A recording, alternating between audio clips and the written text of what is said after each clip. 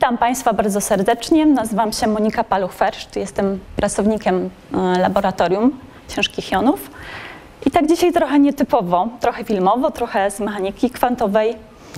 Dlaczego? No bo wiem, że fizyka jest nudna dla niektórych. Jak mówię w ogóle, że jestem fizykiem ludziom, no to ojej, nie, straszne. Albo niektórzy mówią, o, to mało zarabiasz, no straszne.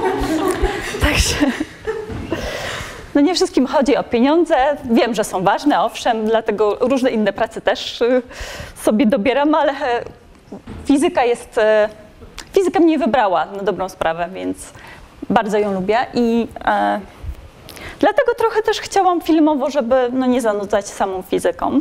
Aczkolwiek akurat w tych filmach nauka jest też bardzo istotna, no bo to są, będą e, filmy science fiction. I teraz tak, ogólnie zaczniemy może od planu. Czyli tak, na początku jednak trochę powiem o mechanice kwantowej. Dlaczego? No bo żebyście w ogóle wiedzieli, o czym będę mówić, tak? Więc jakieś tam zagadnienia postaram się w miarę no fajnie przedstawić. Następnie znaki czasu w filmach, czyli jak dotrzeć do emocji widza. Bo w filmach, moi drodzy, najważniejsze jest to, żeby do was dotrzeć, do widzów, tak? Że, żeby przedstawić i czasy, tak, co się dzieje danej rzeczywistości, no i też jakoś w emocje trafić. Później opowiem trochę e, w filmach science fiction, jak opisuję mechanikę kwantową, a następnie jak ma się to e, w takim zderzeniu film a rzeczywistość. No i dobrze, zaczniemy od e, mechaniki kwantowej. W ogóle, żeby zacząć ten temat, muszę Wam powiedzieć, że pod koniec XIX wieku fizycy stwierdzili, że wszystkie prawa opisujące fizykę są już bardzo dobrze określone. Nic trzeba, nie trzeba więcej wymyślać.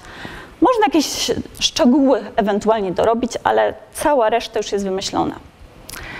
Ale na szczęście było kilku fizyków, które stwierdziło, że tak naprawdę to jeszcze mikroświat nie jest dla nas poznany. Nie wiemy, co to jest te promieniowanie e, i tak dalej, więc no, no, musimy wejść w to trochę głębiej. No i tak 1900 rok to jest w większości przypadków podawany za taką datę powstania mechaniki kwantowej. Czyli e, na dobrą sprawę wtedy dopiero dowiedzieliśmy się, że istnieje jeszcze taki głębszy świat, którego my nie widzimy, no bo jest jeszcze, nawet wychodzi poza skalę zwykłego mikroskopu, więc go nie widzimy, a tam są trochę inne prawa niż dla nas e, obowiązujące. Przepraszam, usta.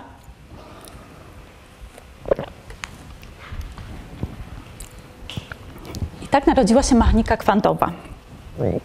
I teraz problem jest z mechaniką kwantową taki, że mm, mechanika tak zwana klasyczna, tak, czyli to, o czym się zwykle uczycie w szkołach, powstała przez wiele wieków.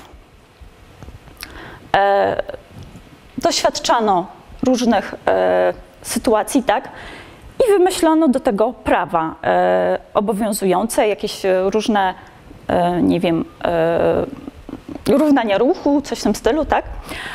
A mechanika kwantowa, najpierw eksperymentalnie zobaczono pewne zjawiska i bardzo szybko wymyślono do tego aparat matematyczny, tak, czyli opis matematyczny, ale jakby konsekwencje tego, co za tym idzie, yy, yy, za tymi prawami mechaniki kwantowej, są na tyle dziwne, nie tylko dla zwykłych ludzi, ale też dla fizyków, że interpretacja, niektórzy fizycy się nawet jej boją, powiem szczerze.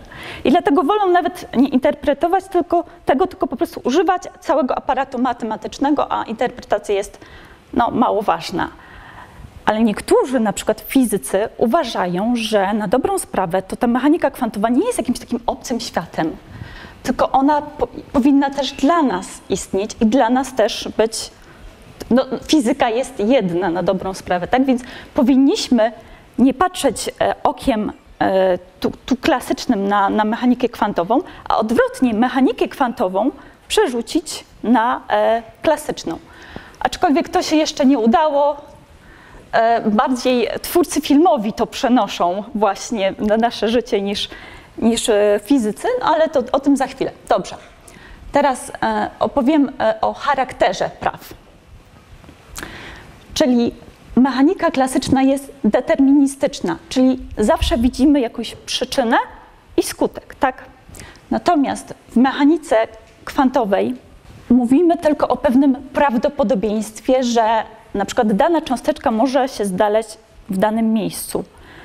Bo e, o dziwo, takie cząsteczki są wszędzie. Wyobraźcie sobie, że jest elektron, który może być w każdym dowolnym miejscu jednocześnie. Jesteście zaskoczeni czy nie? Jak to jest możliwe?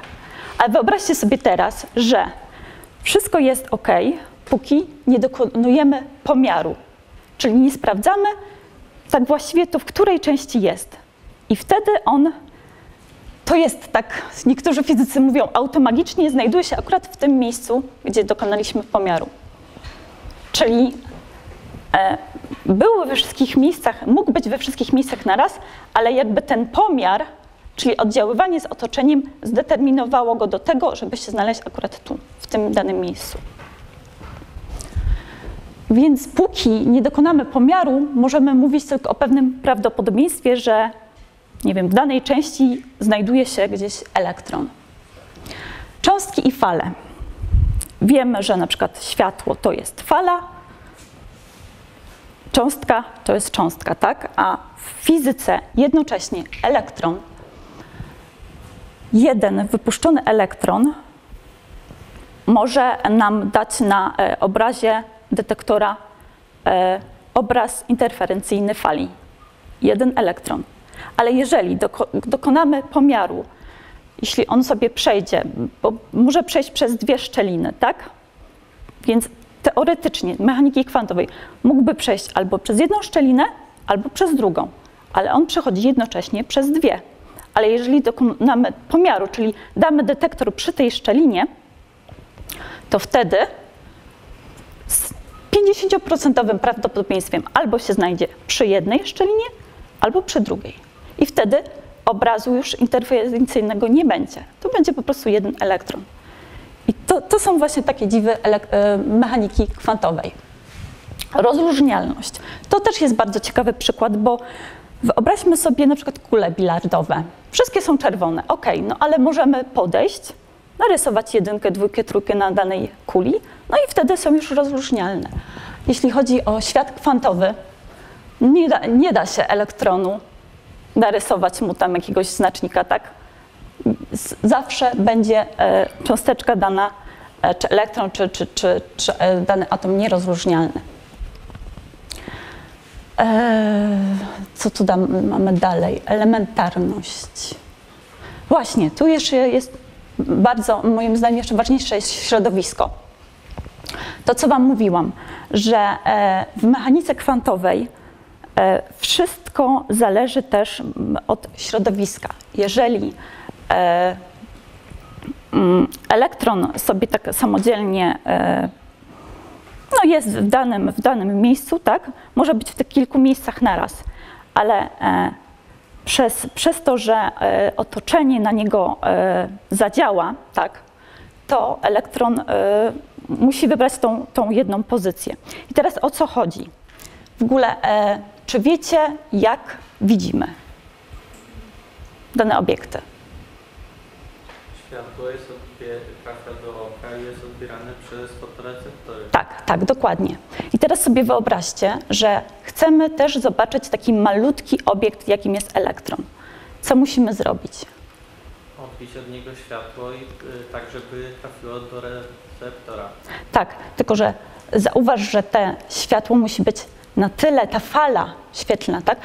Znaczy fala, tak? To nie musi być konkretnie e, światło, ale jakiś foton e, innego promieniowania, tak? Ogólnie fala musi być e, mniejsza od obiektu, tak?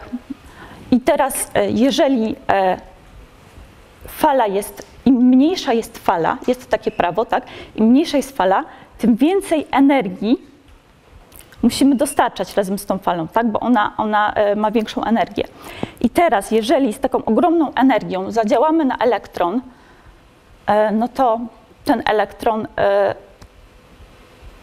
zostanie wybity ze swojego ruchu. I o tym mówi też prawo pomiaru, a właściwie zasada nieoznaczoności położenia i pędu danej cząstki. Bo w świecie klasycznym możemy dowolnie i położenie i pęd danej, danej rzeczy. Na przykład ja jest, tu stoję, tak, nie poruszam się, tu powiedzmy, no nie wiem, 2-3 metry, kilometry na sekundę, ale jeśli chodzi o położenie cząstki, to jeżeli my dokonamy pomiaru, gdzie ona się konkretnie znajduje, to tak jak mówiłam, tym pomiarem nadajemy ją, jej pewną energię i ona już będzie miała inne położenie za, za tą sekundę tak, i pęd, ponieważ no, zadziałam na nią. Więc no nie jest możliwe znaleźć i położenie i pędów cząstki mm, tak jak w naszym realnym e, świecie. To są takie najważniejsze prawa mechaniki kwantowej, ale o tym myślę, że jeszcze jakieś inne rzeczy nam się w trakcie omawiania filmów pojawią, także przejdę już może o właśnie do, do tego świata filmowego. I teraz tak. Historycznie e, to, co było e, ważne dla e, filmowców i w ogóle ludzi zajmujących się science fiction, to tak jak mówiłam wcześniej, że no po prostu nastroje społeczne. Na początku to były loty w przestrzeń kosmiczną. A dlaczego? No bo po II wojnie światowej mm, ludzie stwierdzili, że wojna jest bez sensu, to trzeba e, na innym polu ze sobą rywalizować na szczęście, tak? No i to były po prostu loty w kosmos. A że e, twórcy science fiction mają, słuchajcie, tą fajną, e, no fajne, fajne życie w tym sensie, że mają pod nogami tą naukę i technikę, tak, która twardo im każe stać, e, ale sufitu nie mają jak ja bym powiedziała jak, jakąś głupotę, no to mój profesor by stwierdził, nie, co ty za brednie opowiadasz, w ogóle wymyślasz fizykę. A twórcy science fiction, no, no i przecież to fiction, tak, nie tylko science, więc mogę wymyślić sobie dowolną, dowolną rzecz. I są ludzie, którzy e, wymyślają totalne głupoty, co, co za, za chwilę zobaczymy, ale są wizjonerzy, moi drodzy, którzy pokazują, jaka może być przyszłość, i ta przyszłość później jest realizowana przez innych ludzi, którym to się po prostu spodobała ta idea. I faktycznie tak może być, tak możemy żyć, tak możemy ta, taką technologię ziścić, tak? bo ktoś to wymyślił, jakąś ideę, ale później to może zostać wykorzystane. Dobrze, wracając Czyli tak, na początku mieliśmy loty w przestrzeń kosmiczną i tu Star Trek. Oczywiście e, pod względem e, science, przynajmniej tej części e, początkowej, bo fiction później już za dużo było, ale kto oglądał Star Treka? Jesteście takie pokolenie, że może niekoniecznie, ale może jakieś inne, takie podróż w kosmos. Dobrze, okej. Okay. Później, e, mm, jak już trochę się ludziom znudziło te podróże w kosmos, no bo ileż można latać w ten kosmos? Przecież to nudne w końcu. Przyszła zagłada ludzkości. To akurat pokazałam e, Armagedon i e, to bodajże Dzień, Zagłady, po polsku tłumaczone. Czyli kometa, która już, już, już nieraz słyszeliśmy, że tam o kilkaset kilometrów od nas a tu, tu y, okazuje się, że trafi e, w ludzkość, znaczy w, w Ziemię, przepraszam. E, I tak, to jest też bardzo ciekawe zestawienie, bo Armagedon był, moi drodzy, konsultowani z e, NASA, a Dzień Zagłady nie, ale okazało się po fakcie, że ludzie z NASA stwierdzili, że jednak Dzień Zagłady bardziej pokazywał, e, jakby można uniknąć zagłady, tak? I co by się ewentualnie stało, jakby, jakby jakiś kawałek tego meteorytu, meteorytu jednak e, trafił w nas.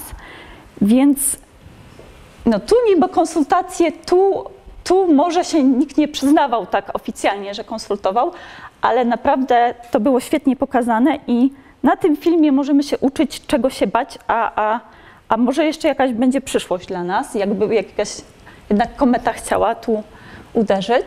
I teraz ostatnio zauważyłam, że jest era posthumanizmu, czyli androidy, cyborgi, y, czyli od y, od czasu, jak zauważyliśmy, że możemy, przepraszam, jeszcze usta, możemy mieć w sobie na przykład jakieś, jakąś protezę, tak? Bo nie wiem, no miałam wypadek, e, nie działa mi tu cokolwiek, tak? Więc można mieć protezę, można żyć normalnie. Więc dlaczego by w ogóle nie wyjść, że tak powiem, z ciała i nie stać się e, cyborgiem, tak? Czyli mózg, umysł tu by został, a reszta mogłaby być cyborgiem. Boimy się androidów, czyli e, sztucznej inteligencji. Wiem, że często słyszę rozmowy, rozmawiacie pomiędzy sobą o sztucznej inteligencji. Jednak muszę Wam powiedzieć, że nie musicie się bać sztucznej inteligencji, jak na razie. no bo ona y, powie Wam tylko to, co ktoś w nią włożył. To jeszcze nie jest nauka na tyle, że, że, że mogłaby, nie wiem, ogarnąć y, jakoś dostęp do elektrowni, chyba że ktoś jej da do, ten dostęp, ale y, i, i, nagle sobie samemu stwierdzić, że, że, że mój program jest zły, zrobię sobie taki, co, co ludzkość zabije. Więc, ale no, w filmach jest zupełnie inaczej. Tu jest też bardzo ciekawe zestawienie E, co też fajnie pokazuje nam, jak e, filmy, które powstały wcześniej, przed, e, przed tym, co teraz żyjemy, które opowiadały o tym, jaka może być przyszłość. Na przykład Odyseja Kosmiczna 2001, która opowiadała o tym, że no w 2001 roku, czyli w pierwszym roku, roku milenium, już będziemy podróże kosmiczne, po prostu stacje i gdziekolwiek chcemy, hibernacja i tego typu, typu rzeczy już będzie na początku milenium, niestety. Chciałabym też po, polecieć w taką podróż, ale, ale nie da się jeszcze. Robocop w 2015, tu jeszcze jest e, oczywiście powrót do przyszłości u samej, u samej góry, latające e, samochody, co akurat by się bardzo przydało, powiem szczerze, na zwłaszcza warszawskie korki. Tutaj też e, po prawej stronie to chyba jest e, łowca androidów też właśnie. E, Robocop, no tu Matrix, to powiedzmy jeszcze twórcy tak oddalili te, te, te, tą, tą całość akcji, że no, nie dożyjemy do tych czasów, kiedy zupełnie się przeniesiemy w wirtualną rzeczywistość. Aczkolwiek patrząc po niektórych już, już widzę, że niestety z nosem w komórce są wszędzie. Ale to jeszcze powiedzmy nie, nie aż taka e, rzeczywistość. Dobrze, teraz chciałabym powiedzieć o trzech e, filmach. Pierwszy Wszystko Wszędzie Naraz, dlatego że jest a, bardzo aktualny. Dostał ostatnio Nagrody Nobla. Tfu, przepraszam, nie Nobla. nie, nie, nie, Oscara. Oj, do Nobla to, to stwierdziłabym, że ta, ta nagroda już dla mnie nie istnieje, jakbym dostał Nobla, ponieważ to jest świetny przykład filmu, który nawiązuje do nauki, ale tak na dobrą sprawę to więcej w tym jest fantazji, więcej komedii, a są tylko takie pewne elementy jak prawdopodobieństwo bardziej w komiczny sposób przedstawione niż, niż naukowo, więc no to jest tylko bardziej, bardziej taka ciekawostka, raczej bym się na tym e, z mechaniki nic nie dowiedziała. 2012 to film powstał w 2009, ale właśnie opowiadał o e, tym słynnym końcu świata, który niestety, niestety nie nastał. Ale pamiętam, jak byłam w kinie, to, był, to było bardzo ciekawe wtedy. Wyszliśmy z kina i wszyscy ludzie byli tak przerażeni neutrinami, które spowodują Armagedon na Ziemi. Najlepsze było to, że wyszłam tam z przyjaciółmi, którzy też, tak jak ja, studiowali fizykę i byli tak samo przestraszeni. Najlepsze było to, że NASA ogłosiła ten film jako jeden z najgorszych filmów science fiction, właśnie dlatego, że ludzie przez długi czas po obejrzeniu tego filmu dzwonili, pisali maile, czy to może się wydarzyć. Więc przestrzegam, że tak, owszem, e, są neutrina, jest ich miliardy, miliardów, ale e, od, oddziałują, owszem, z materią bardzo, bardzo delikatnie, ale fizycy w kopalniach, e, tak żeby odizolować e, się od innych cząstek, tam po prostu badają i jak trafią, jest neutrino, jest, na rok mamy doświadczenie z głowy. mamy neutrino, także to, to, to, to są takie oddziaływania z materią. No i film Przeznaczenie mm, z jednej strony jest dosyć ciekawy, bo pokazuje paradoks dziadka. O co chodzi? O to chodzi, że jeżeli się cofniemy w przeszłości i zabijemy swojego dziadka, no to się nie narodzimy. Niezbyt fajne, tak? Ale z drugiej strony, jeśli chodzi o naukę, to, to się nigdy nie wydarzy, ponieważ aby się cofnąć przez, e, i przejść przez tunel czasoprzestrzenny, bo tylko jak na razie to jest jedyna możliwość, żeby się móc cofnąć w czasie, to w, w trakcie takiego przechodzenia e, dostaniemy e, odrzut z, z, energii, bo musimy dostarczyć pewną energię, żeby móc w ogóle przejść przez ten tunel. Dostaniemy, dostalibyśmy taki odrzut, żebyśmy weszli, ale w inny, jakby mm, w inną linię czasową. Więc w tej innej linii czasowej zabiliśmy by, byśmy innego dziadka. I to by nie wpłynęło na nasze życie. Więc to jest pozorny paradoks. A w tym filmie jest jeszcze lepsze, bo e, najpierw się rodzi dziecko, później to dziecko jest dorosłą kobietą, e, przechodzi pan, który mm, zapładnia ją, tak?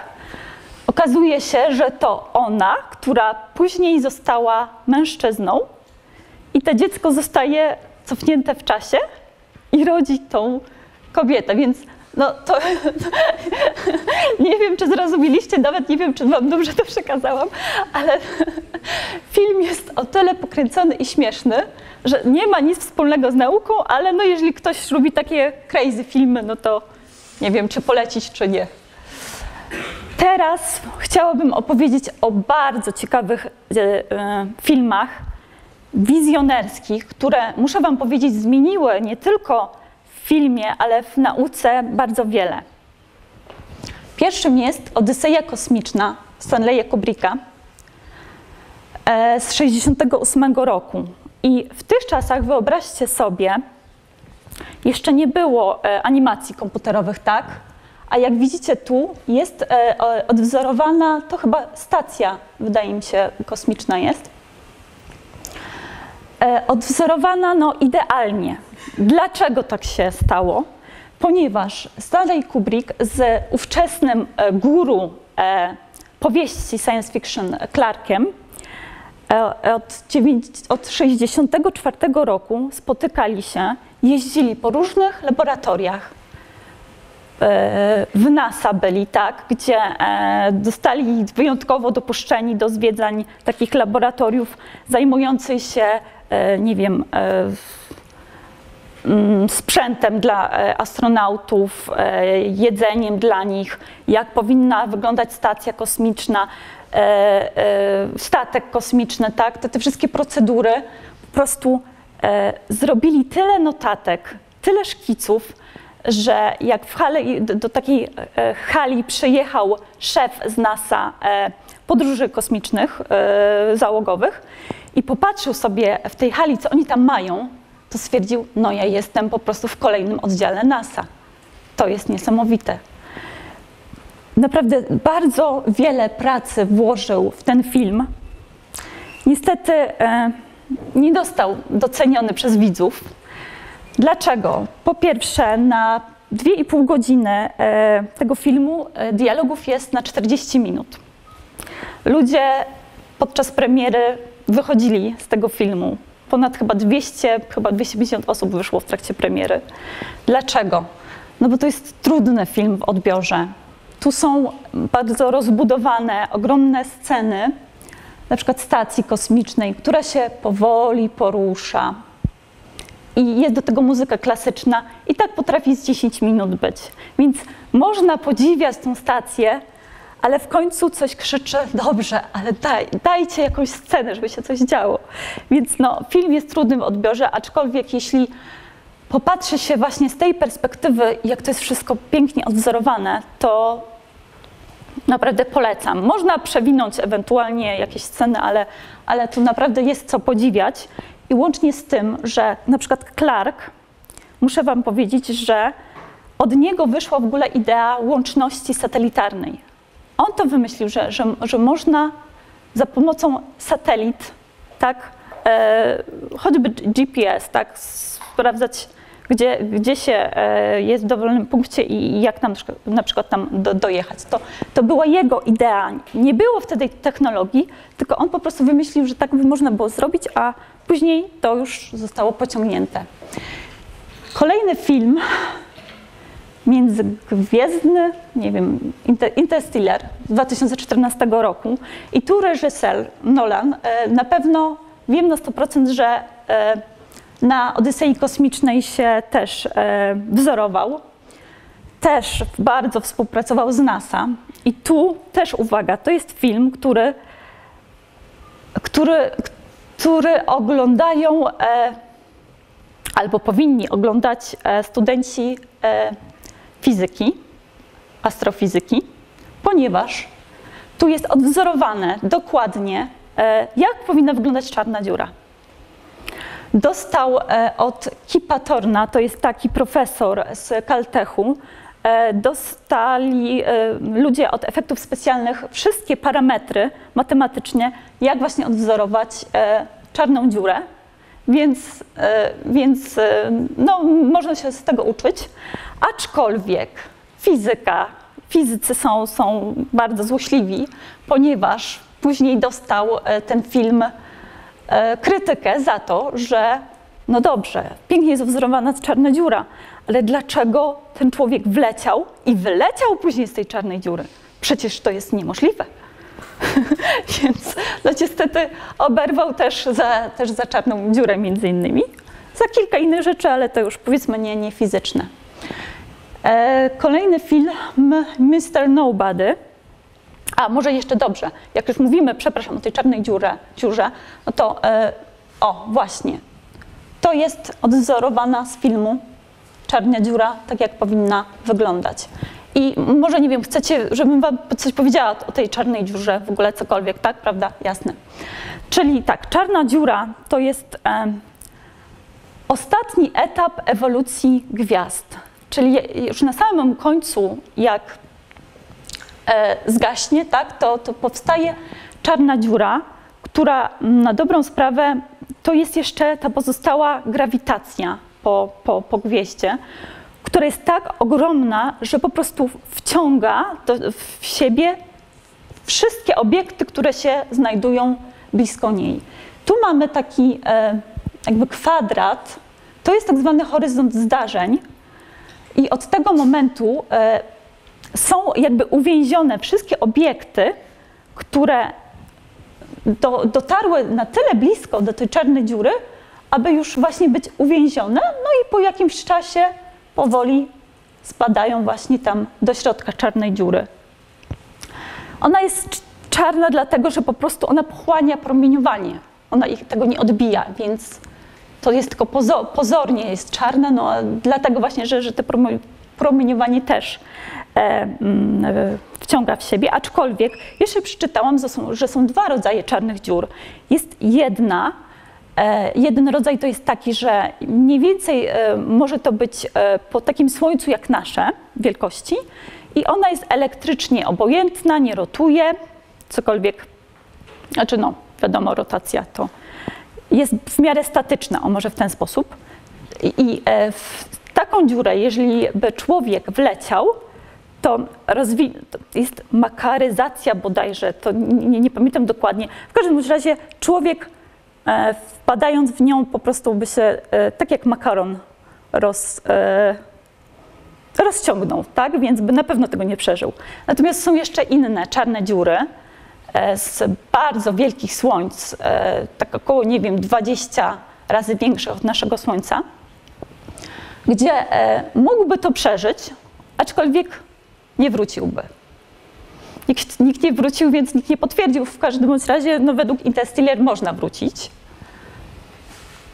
E, I teraz o ostatnim właściwie chciałam tu film jeszcze powiedzieć, Mr. Nobody.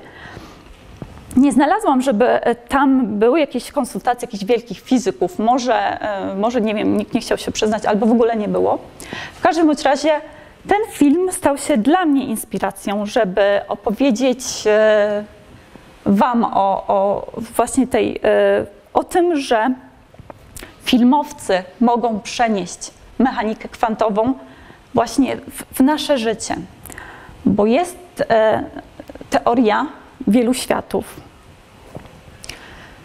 Tak jak Wam mówiłam na samym początku, że elektron, jeden elektron e, może przejść przez dwie szczeliny naraz, tak? I teraz są różne interpretacje, jak to się dzieje. I jest właśnie interpretacja wielu światów. E, wymyślił ją taki fizyk e, Everett i wymyślił sobie, że tak jak tu widzimy, ten pan, który dokonuje jakby pomiaru, tak, zanim e, dokona pomiaru, jakby świat zostaje rozdzielony na dwie części, w którym jest jeden obserwator widzący elektron przechodzący przez jedną szczelinę i drugi obserwator, który widzi elektron przechodzący przez drugą szczelinę. I tak mamy ten obraz interferencyjny e, elektronu, tak, który mógł jednocześnie przez jedną i przez drugą e, szczelinę przejść. A jeżeli dokonujemy już pomiaru, no to jakby decydujemy się, który z tych światów jest prawdziwy, no i ten jeden się kasuje, drugi zostaje, no i tak elektron objawia się tylko przy, przy jednym detektorze, a nie przy drugim. I jak to zostało przeniesione teraz, e, przeniesione do filmu? Tu bohater e, stanął przed taką niemożliwą e, do, dla małego dziewięcioletniego dziecka decyzją niemożliwą do e, podjęcia. Czy wybrać mamę, czy tatę? I, i, i jednocześnie i wybrał i mamę, i tatę, i tu były pokazane perypetie poszczególne, co by się stało, jakby był z tą mamą i co by się stało, jakby był z tatą. No, moim zdaniem no, było to bardzo pięknie pokazane, ale to też pokazuje, że w sumie to my możemy mieć tą mechanikę w głowie kwantową. No bo zauważcie, jest taka decyzja, gdzie pójdę na studia. I póki nie podejmę tej decyzji, mogę być kimkolwiek chcę. Mogę być adwokatem, mogę być fizykiem, mogę być lekarzem, tak? Więc wszystkie decyzje są w mojej głowie, są jednocześnie. A jeśli dokonam tego pomiaru, czyli wybiorę te studia, no to już wszystkie inne się skasują, tak? Więc no, to, to, to jest ba bardzo pięknie pokazana mechanika, moim zdaniem, kwantowa. Teraz chciałam, jeszcze mamy trochę czasu, powiedzieć coś o teleportacji, bo to jest, to jest najciekawsze. Jakbyśmy wymyślili teleport, tak jak w Star Treku, no to by było bajecznie, idealnie, w ogóle świetnie. Co mówi e, na razie e, nauka? Nauka na razie nam pokazuje, że owszem, można teleportować, ale tylko informacje.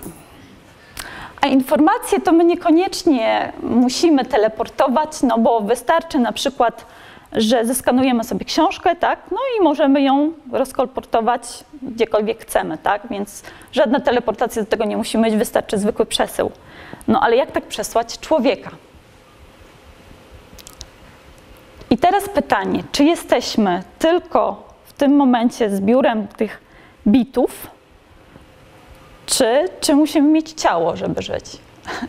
To są takie etyczne, e, fizyczne i e, informatyczne sprawy, które poruszę, e, żeby Wam wyjaśnić, czy możemy mieć w przyszłości takie teleporty, czy nie. Pierwsze to ustalmy sobie, czy przesyłać e, człowieka razem z materią, czy tylko same informacje, a na przykład zde- zdematerializować go na miejscu. Jak myślicie? Która by była fajniejsza opcja? To ja może przeczytam jeszcze instrukcję ze Star Treka, jak działa w ogóle teleport. I tak, najpierw transporter kieruje się na cel. To jest fizycznie wszystko ok. Następnie odczytuje obraz danego człowieka, który się następnie dematerializuje. Wszystko jest świetnie, wykonać tylko.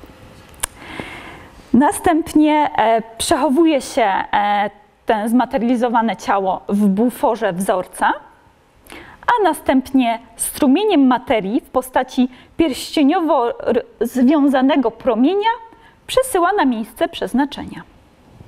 I to powiem szczerze, wszystko by się zgadzało technicznie bardzo dobrze. Tylko jak zdematerializować człowieka? E, przeczytałam gdzieś, że człowiek to około 10 do 28 cząsteczek. To jest bardzo dużo. 10 z 28. Także to jest ogromna ilość cząsteczek. No, jak zdematerializować człowieka? Podgrzać go, nie? Najlepiej. I teraz pytanie. Pytanie, czy po takiej zdematerializacji, dematerializacji on później się pojawi? Taki, jaki, jakim, jakim jest. I teraz jeszcze dodatkowo, jakie informacje musimy przesłać, żeby ten człowiek dalej był człowiekiem? Bo jeszcze tu jest etyczna taka strona, z którą się mogą wszyscy nie zgadzać, ale podobno jest takie coś jak dusza, czyli no takie klucz człowieka, które jest nawet, nawet jeśli człowiek nie żyje. No ale jeżeli e, się go prześle, no to co się stanie z duszą tym momencie? Czy ona też się automatycznie prześle, czy nie? I teraz jeszcze kolejne pytanie. No bo e, jeśli chcemy nawet tego zdematerializowanego człowieka zamknąć na chwilę w jakimś buforze, żeby go móc wysłać, no to ile to będzie bitów? Czy w ogóle pomieścimy na wszystkich komputerach, które są na Ziemi, te informacje? Otóż nie, nie pomieścimy. nie pomieścimy. I tu, moi drodzy, pojawia się nauka i kwantowy, tym razem komputer, który mógłby wszystko pomieścić, ale to jeszcze o tym za chwilę. Bo na razie jesteśmy na takim etapie rozwoju, że, że, że jeszcze nie pomieści. Musimy wybrać, czy chcemy przesłać samą informację, czy zdematerializować człowieka. Bo teraz, jeśli byśmy tylko przesyłali samą informację, co by było trochę prostsze, no bo nie trzeba by było tego człowieka jednak podgrzewać, stracić energii i tak dalej, to jeśli tylko, tylko prześlemy samą informację, no to trzeba by było zrobić kopię tego człowieka gdzie indziej. I teraz to, co fizycy nawet sobie rozważają, teraz kogo zabić? Czy tego człowieka, który chce się przesłać, czy tego przesłanego? Jak na przykład już zrobi nie wiem, swoje gdzie indziej i, i już mógłby wrócić, ale to, to wtedy go można zabić, tak? No to też jest kolejna etyczna, to, to, to nie jest trywialne, że tak powiem, to jest etyczna e, problem, tak? To zależy, czy się przesyła informację, jakby z jednego na drugi, czy się kopiuje i się przesyła kopię jakby. Tak, no ale ta kopia też później będzie żyć, no bo przesyłamy właśnie po to, żeby żyła. To tak, jeśli Mhm. tylko informacje, no to już yy, po jednej stronie będą zwłoki, bo już nie będzie informacji, a po drugiej, ale nie. Ale co zrobić z tymi zwłokami? Też trzeba je jakoś dematerializować, nie wiem, zakopywać. Albo do Zwłoki to formaliny. zwłoki, kremacja. Ale, ale przy podgrzewaniu człowieka, no to przecież nasza cała struktura białkowa by się zniszczyła, to już nie byłoby tego człowieka, którego można by zmaterializować w miejscu. Ktoś, ktoś to wymyślił, e, ile by potrzeba, trzeba e, było energii, żeby takiego 50-kilogramowego człowieka zdematerializować. Uwaga, powstałaby energia równoważna tysiącom bomb wodorowych o sile jednej megatony. A to jest tylko jeden człowiek. Także e, teleportacja póki co no jest mrzonką, jak na razie, bo mamy, patrzcie, mamy tyle pytań bez odpowiedzi, bo to, to, to nie jest takie proste. Nawet sami fizycy e, uważali, że no dobrze, zabijemy tego człowieka, który wchodzi do teleportera, a e, w, w kolejnej, w tam, tam gdzie się chce przenieść, no tam będzie już ten właściwy. Tylko, że Tak? w takiej sytuacji, jeśli teoretycznie taki człowiek się zmaterializuje, Aha. e, to pytanie, się jedno bardzo ważne pytanie, Tak? czy to jest ten sam człowiek? No właśnie, tak, Bo tak, tak. Teoretycznie jego ciało jest nowe, czy, ale jednak nasze ciało ma coś, że no, na sobie tak zwane blizny i wszelkiego inne Mhm. znamiona. To czy jak nowym ciele one się będą w ogóle znajdowały, bo to będzie zupełnie nowe ciało. Tak, i właśnie, tak, jeszcze jest problem, jeszcze jest, przepraszam, yy, powiem tylko, jeszcze jest problem taki, że jeżeli możliwe by było taki sposób przesyłania informacji, to na dobrą sprawę można by było trzymać siebie idealnego, młodego, zdrowego w buforze gdzieś i później, jak się już się zestarzeje, zrobić kopię zapasową i znów jestem piękna, młoda i, i tak dalej, tak? Więc to też by kolejne ryzyko ze sobą niosło, tak? No to tak by właśnie był problem z tą duszą wtedy. No też, też, dokładnie, dokładnie, więc tak? Byłby się zasadniczy problem, jakby, czy dałoby się w ogóle odróżnić te dwa, y, dwa dwie osoby? Jakby, Tak. No, to Tak, dokładnie. Stanęłyby dwie osoby. Ja jestem oryginał. Nie, ja. Ja jestem oryginałem. I kogo zabić? W ogóle, y, na przykład osoba, która powiedziała, hej, to ja się pierwszy teleportowałam, byłaby w stanie w ogóle przed drugim sobą udowodnić, że on jest tym, który pierwszy teleportował. Bo teoretycznie obaj mają te same... Tak, nie, te tak, same tak, miasta, dokładnie. Te same cele. Tak, Więc jakby, jakby to wyglądało. tak. Dokładnie. Powiem szczerze. Teoretycznie, Aha. y, y, patrząc z perspektywy humanitarnej i w ogóle, to powinno się y, usuwać je- jedną z tych osób, bo wtedy nie doszło do takiego kryzysu. Tak, i właśnie to jest też e, e, pytanie, na które sobie zadawali fizycy. I teraz e, wymyślili sobie, dobrze, wszystko by było świetnie, a jeżeli byłby jakiś, nie wiem, błąd systemu i jednak osoba, która weszłaby i byłaby uśmiercona automatycznie, tak by się nie stało. Nie zostałaby uśmiercona, bo był jakiś błąd, tak? I zmaterializowałaby się osoba przesłana i ta nieświadoma niczego, która myślała, że po prostu się nie przeniosła, no bo, bo żyje, no to się nie, nie przeniosła, tak? Więc to naprawdę jest wiele etycznych takich kwestii.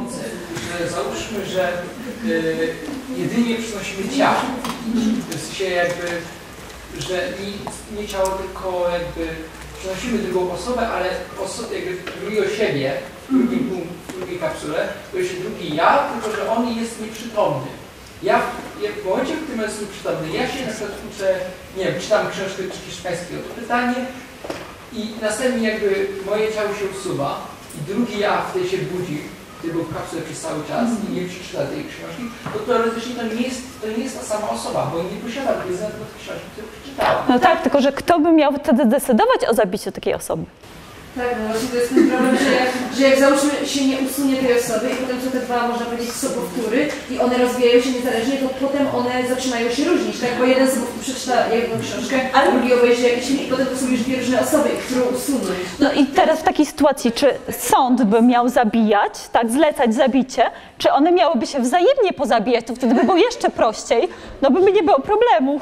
Czy rzeczywiście przynosi się świadomość, czy umiera jedna osoba, a powstaje druga identyczna. Dla, No właśnie, czy w ogóle jest możliwość, żeby cała Tak. świadomość została Dla reszty to by wyglądało dokładnie tak samo, bo powstaje druga osoba e, z dokładnie tymi samymi wspomnieniami i dokładnie tak samo wyglądająca, ale to jest, nowa osoba, tamta poprzednia po prostu umarła, ani się przeniosła. Na przykład w trakcie przesyły mogą być jakieś, nie wiem, zakłócenia i jedna osobowość przygaśnie, jakaś taka bardziej przyjazna, a druga, no bo zawsze mamy jakieś dwie strony w sobie, tak? Jakąś dobrą i złą. Nawet to było w Star Treku pokazane, że po prostu może się objawić zła, tak? Zła ja i, i co w takiej sytuacji. Także no to jest nieskończenie wiele aspektów. Podejrzewam, żebyśmy jeszcze długo wymyślali. E, Chciałabym jeszcze do, do ostatniego przejść, czyli do komputera kwantowego, bo tak jak powiedziałam, że nawet jakbyśmy chcieli same informacje przenosić, to nie ma na razie komputera, który po prostu by pomieścił te informacje w sobie. Bo z tego, co też czytałam, e, książ wszystkie w ogóle książki, które są na Ziemi, mają około 10 do 28 e, bitów, e, bitów informacji do 26, a my mamy jeden człowiek 10 do 28. Także to jest ogro, ogrom. I teraz tak, jeśli chodzi o komputery kwantowe, one mają tą fajną zaletę, że w zwykłym procesorze to jest tak odpalane, że, że, że najpierw idzie jeden proces, drugi, trzeci, czwarty, a tu jest o tyle fajnie, że w takim procesorze, procesorze kwantowym mogą być jednocześnie wiele procesów naraz robione. Także, czyli on jest i szybszy, i, i, ma, i, i ma większą pojemność. W każdym razie w 2020 roku taka wiedzo- wiodąca firma w ogóle e, w komputerach kwantowych IBM ogłosiła, że ma już właśnie zaprezentowała e, taki komputer e, z tej prawej strony z 65 kubitami, czyli to są powiedzmy takie kwantowe, kwantowe prezentacja e, znanych nam dobrze bitów. I do 2023 roku, w tym 2000 2020 powiedzieli właśnie, że do 2023 roku planują e, opracować już taki komputer z tysiącami kubitów. Po czym w 2021 roku stwierdzili, mamy, grani- mamy przekroczoną tą magiczną granicę 127 kubitów. A do 1000, no to jeszcze tak troszkę nam brakuje. E, problem też jest w tym, że wiele firm e, jakby w inny sposób chce osiągnąć te kubity. Albo tu przez jakieś e, nadprzewodniki, albo tak zwane uwięzienie jonów. No, to są na tyle trudne do wytłumaczenia i plus to, że niestety e, bardzo chciałam Wam opowiedzieć o, o jakiejś technologii em, tworzenia tych kubitów, ale firmy, moi drodzy, niestety na tyle pięknie i okrągle e, to tłumaczą, że, e, że podejrzewam, że takie clue, jak, jak to wszystko e, e, działa, jest po prostu zarezerwowane tylko, tylko dla nich i dla normalnego użytkownika. Jeszcze póki co pewnie nie będzie.